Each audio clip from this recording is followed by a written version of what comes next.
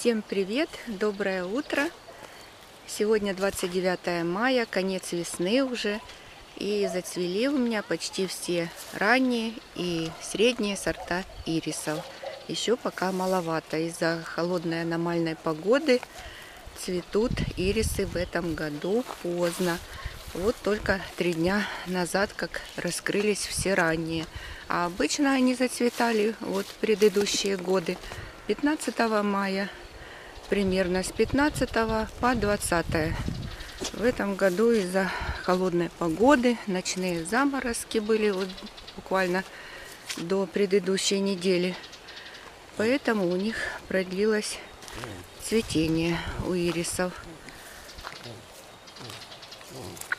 Но ну, с одной стороны это хорошо, потому что когда стоит сильная жара, они очень рано начинают уже отцветать. В этом году подольше полюбуемся их цветением. И как мне...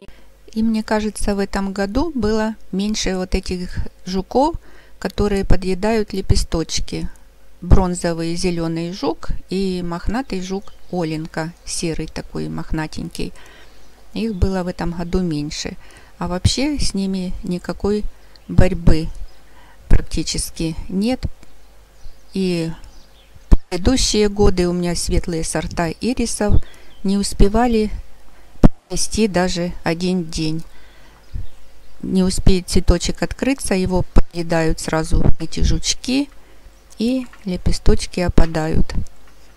Ну а все остальное в этом году более-менее благополучно. Прохладная погодка такая была, и ирисы дольше цвели обычного.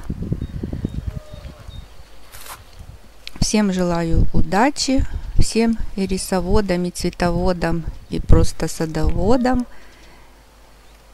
И с вами была Тала Хукрянская. Подписывайтесь на мой канал, кто еще не успел подписаться.